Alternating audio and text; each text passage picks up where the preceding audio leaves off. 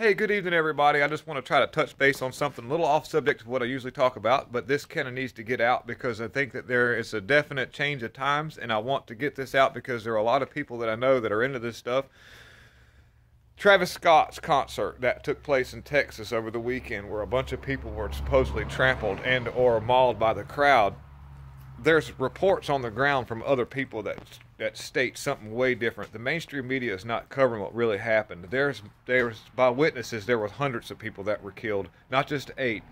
Um, it goes to one of the police officers that was working the events that said that he had to be brought back by Narcan because he felt some kind of weird prick on his neck, not from a needle. Uh, let's not get to anything to construed here. So, anyways, that was a little bit of a lighter note. But this is serious. This is very serious because it nobody knows exactly what happened. The whole time this was taking place during the concert, Travis Scott never actually stopped to try to to slow the crowd down to see what was going on. He egged the crowd on. He went into a satanic mumble and like almost like in a trance. And actual concert venue people had to get him off the stage, stop the concert. He was not even worried about it. He just kept rolling with it. Um, he's been known to have outbreaks like this before, outbursts where he's had the crowd attack other people in the crowd when something there was a an issue where somebody tried to take his shoe when he was crowd surfing. If you're going to jump off the stage and surf in the crowd, you everybody knows that's done this. You take everything out of your pockets. You don't have anything in your pockets. I mean, anybody that's done any kind of like concerts or crowd surfing knows if you're going to crowd surf, you do not, you know. So if something happens and you get something missing, you, you just you just lost. That's what you get. You learn not to do that no more.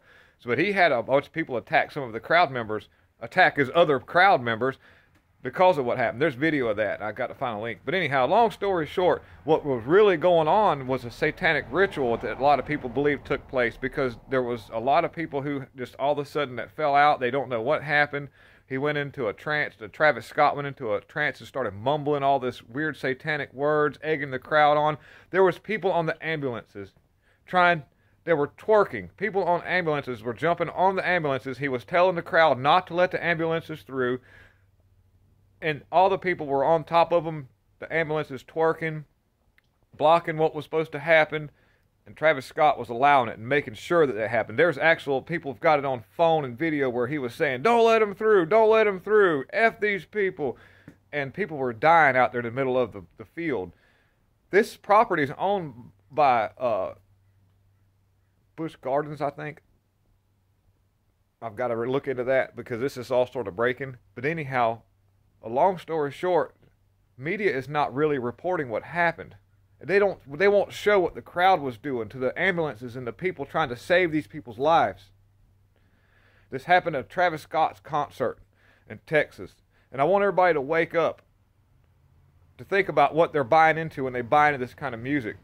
Because if a man's going to sit there and tell you what he's going to do to your old lady when you're not there, or when he's going to take her backstage and have his way with her, and you're going to buy his CD, you better, uh, and you're, then you're going to buy a ticket to go watch him tell you how he's going to do this to your old lady.